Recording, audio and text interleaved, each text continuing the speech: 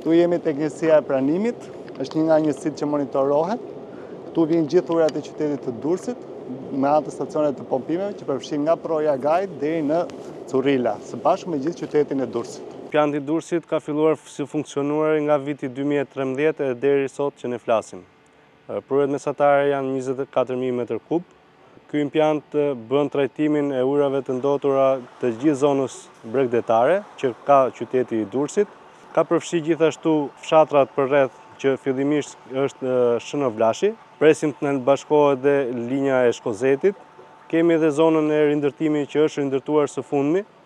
që dhe ato kanë një projekt për ta sjellë me anë të kanalizimeve dhe stacioneve të pompimit po prapë pranë këtij impianti dhe zona tjetër e Durrësit që është zona e Spitallës që janë gjithmonë në projekt dhe në sipër duke u zhvilluar. Ujërat vijnë në pikën e pranimit, Kalojnë një fazë fillestare që ka grila mekanike, quhen, duke qenë se vetëpastrohen nga punëtorët e impiantit, kalon në, në pjesën e paratrajtimit, ku me anë të grilave mekanike, tani të automatizuara, duke lëvizur, ato pastrojnë papastërtitë, dhe nga aty kalojnë në vaskat e, që bëhet dhe oksigjenimi dhe shpërbërja e detergjentëve dhe ujërave të zeza në përgjithësi. Pra detergjentët themi sepse janë pjesa më e vështirë për t'u shpërbërë. Sipas analizave që kryhen, që janë kryer rregullisht, ujërat që janë në pikën e daljes, pasi trajtohen dhe nga pjesa e kallamishteve, vaskave që